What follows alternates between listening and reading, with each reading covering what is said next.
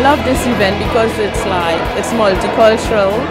I like actually all the stalls because they're all giving their input and it makes you aware of what's around and what you can actually get advice from. I mean, look at it, all I've got in here, like, you know, I've got the fire brigade going to come down and check the property out.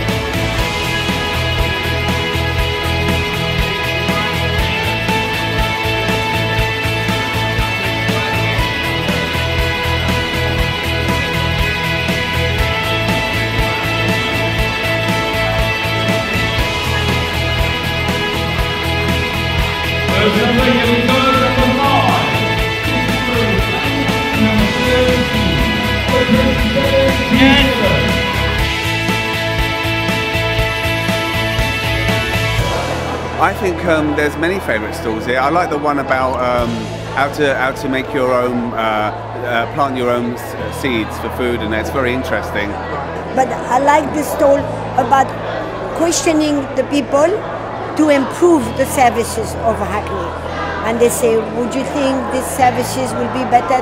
I did particularly like the Zumba, but I still like my rock and roll. Well, I think it's very interesting because it gives people the old chance to have a day out, which is nice, and also it, it tells them about their rights, like you know about you know uh, safety issues and things like that. But I think uh, Hackney is on a good track to question us and to get all those information. I think insulation for the roofs will do a little bit more warming. The number of people that have come in, the number of people that have shown an interest has been really good. Um, the referrals that we've got to go back and see um, to try to help them save money in their home on their energy bills um, has been really good, quite positive. Well, I think personally the, the event here today has gone absolutely fantastic. And I, I enjoyed very well the massage, I must say.